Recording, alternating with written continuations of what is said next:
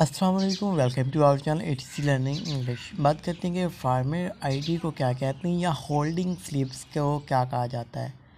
Farmer ID आइए इस videos के अंदर हम डिस्कस करने वाले हैं और या होल्डिंग स्लिप्स इस वीडियोज़ को लाइक कर दें और ए टी लर्निंग इंग्लिश को ज़रूर सब्सक्राइब कर दें। फार्मर आईडी या होल्डिंग स्लिप्स को कहते हैं ख़तवानी ख़तवानी ख़तवानी इस वीडियोज़ को लाइक करते हैं और एटी लर्निंग इंग्लिश को ज़रूर सब्सक्राइब करते हैं।